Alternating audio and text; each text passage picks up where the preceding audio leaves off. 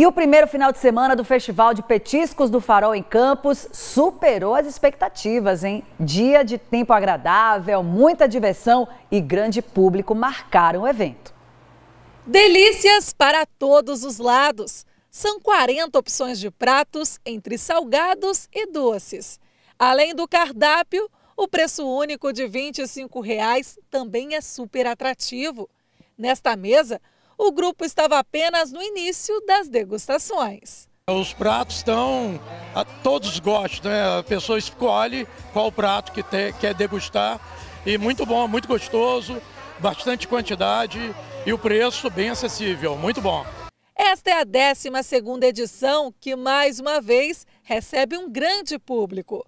A estrutura, com 14 bares e restaurantes representados, fica instalada na orla da praia, com entrada franca. O risoto de camarão, espaguete com molho de camarão, é, tira-vira com molho, a salada do lado. Tem a gente do Rio, Espírito Santo, São João da Barra, que Samanta, tudo aqui. Francisca veio com a família curtir o domingo. Com a segurança oferecida, João Francisco, de um ano e três meses, não poderia ficar de fora. E tem provado de tudo um pouco. Camarão empanado, cação com molho camarão, batata frita, é, tilápia, filézinho de tilápia, né? Fritinho também, uma delícia. É o segundo ano meu aqui e eu estou amando. O festival se tornou essencial para a economia de Farol de São Tomé durante a baixa temporada. Toda a praia é beneficiada com o evento. A expectativa é de movimentar cerca de 2 milhões de reais somente com a venda dos pratos. Hoje o Festival de Petisco é um agente turístico muito grande e atrai não só as pessoas de Campos do Goitacazes, mas do estado do Rio e fora do estado, que o pessoal vem aqui para degustar os pratos, né? E ouvir boa música, ver nossa, provar nossa gastronomia, que é o grande feeling do festival. A programação também conta com shows de talentos da terra. Para alguns estabelecimentos, o primeiro final de semana já superou a expectativa de lucro. Movimenta bastante a praia. Ainda tem semana que vem, né? Semana que vem é o desfile cívico aqui na praia, então o movimento é bem maior do que essa semana ainda.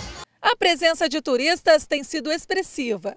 Angélica é de Nova Friburgo, na região serrana. Veio visitar o filho mais velho, que estuda em Campos, e aproveitou para conhecer o festival. Os petiscos, né? A música ao vivo, o ambiente, tá muito agradável. Marilene mora no Rio de Janeiro e viajou para o litoral campista com a cachorrinha Flor apenas para conferir a atração. Aproveitou o evento no sábado e repetiu a dose no domingo. Eu priorizo lugares que aceita dog, né?